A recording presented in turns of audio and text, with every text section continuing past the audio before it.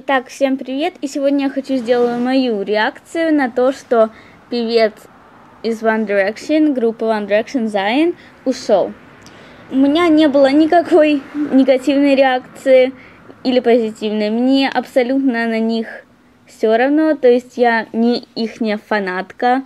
Да, мне нравятся некоторые песни, на радио я их слушаю, когда включаются песни их. Ну а так не было никакой реакции. Что меня реально тронуло? В тот день, когда вот они сразу узнали, некоторые люди, что он ушел из группы, шесть тинейджеров эм, совершили суи э, суицид, потому что они просто узнали, что он ушел. И я считаю это глупостью, потому что в 12 или в 14 или в 15, и неважно сколько лет, себя убивать за то, что просто ушел какой-то мальчик из группы, а, он еще, может быть, вернется, а может и нет, но все равно это очень глупо, то, что так произошло. А почему он ушел?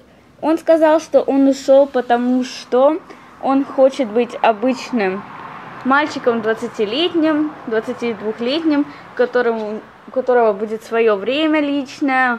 Но мне кажется, что у него есть другая причина, потому что он прекрасно понимает, что в 22 года, уже после пяти, по-моему, лет в этой группе, он все равно не станет обычным человеком, он уже как звезда.